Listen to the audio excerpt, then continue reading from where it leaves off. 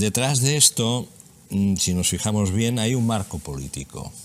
Y el marco político, para, a mi modo de ver, en el caso de nuestro, de España, viene determinado por lo siguiente, que es la conceptuación de gobierno ilegítimo. Un gobierno ilegítimo. Nosotros decimos que es ilegítimo. Está pasando de ilegítimo a criminal. Esa acusación de gobierno ilegítimo se va modulando en el debate parlamentario, se transforma en dictadura constitucional. Un gobierno que amordaza al Congreso y que está dando un golpe institucional a la soberanía nacional. Contra una dictadura sabemos que también es legítimo hacer todo lo que se pueda para der derrocarla. Lograremos sacar a este gobierno comunista y criminal de la Moncloa.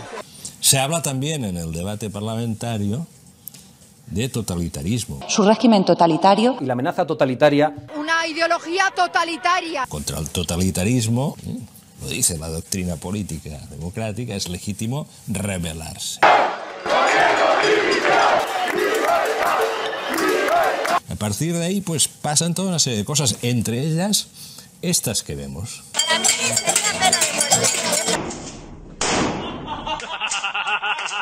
La creación de un clima, de un clima que tiene dos traducciones. Uno, un clima de coacción pública y después la incitación a que cualquier desequilibrado, cualquier fanático un día eh, cometa alguna barbaridad.